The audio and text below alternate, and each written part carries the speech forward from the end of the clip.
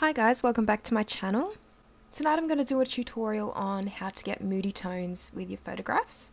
I'm going to start off with just talking a little bit about blending modes in particular. So blending modes are positioned right here in the layers tab. And I'm just going to demonstrate what some of them do. So I'm just going to pick a solid colour to make this happen. And I'm going to choose a pinkish purple colour. So probably something like that. Okay, so I'm happy with that. Now when I'm doing moody tones in photographs, I like to get the colours a little bit less saturated and really dark, obviously. So kind of like rich tones, something that's not too out there and bright. Okay, so back to blending modes.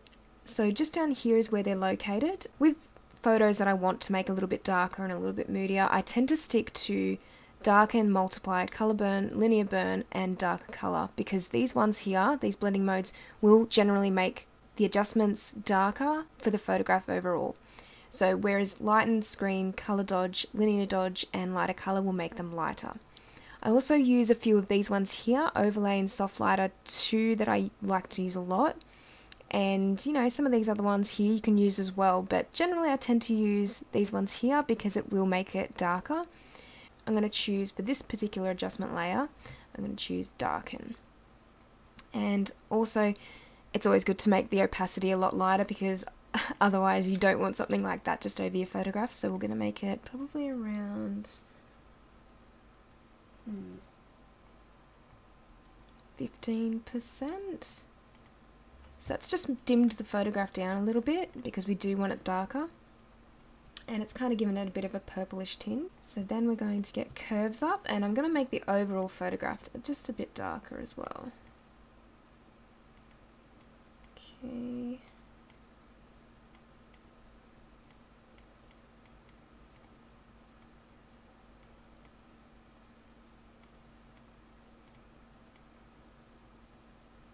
Alright, I'm pretty happy with that. And then I'm going to get levels and just bring out the highlights a little bit more because I do like to have my highlights generally um, a little bit on the brighter side but not too bright that they're you know completely white or too overexposed looking. Okay. And then I'm going to get another solid colour. And I think I'm going to get a blue. I usually like to use blue when I'm doing darker, moodier tones because, yeah, it kind of gives it that effect. So I'm going to just sort of experiment with what some of these are doing at the moment to the image and not anything that I really want to use. So I'm going to choose colour actually. I'm going to make it look a little bit less desaturated and give it that blue tinge still. Move it down to around 18%. So that's made it a little bit cooler and just a little bit more desaturated. And then I'm going to get selective color up. And as usual, I generally only work on the whites, neutrals and blacks unless I need to work on the other colors. So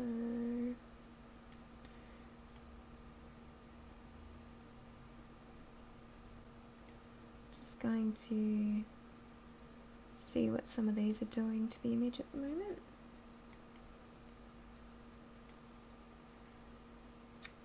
Okay.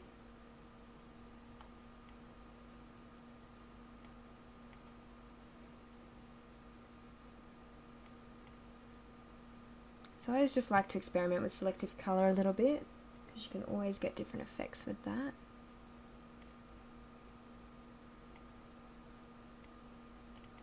And blacks.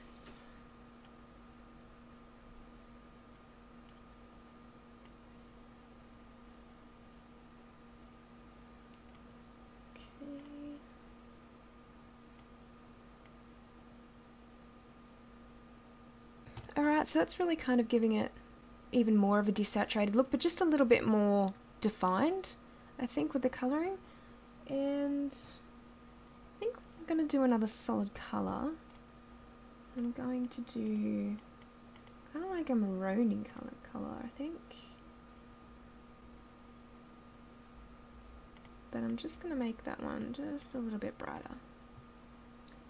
And I'm going to choose color burn for this one because I think it might give it an interesting effect. Make it a little bit darker again.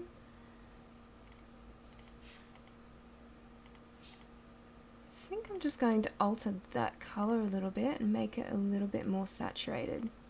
Just for like a finishing touch. I know I usually said I don't do bright colors, but just get it a bit more pinkish. Yeah, so I think that works. I'm just going to up the overall brightness of it, so back in curves. Just going to alter this just a little bit.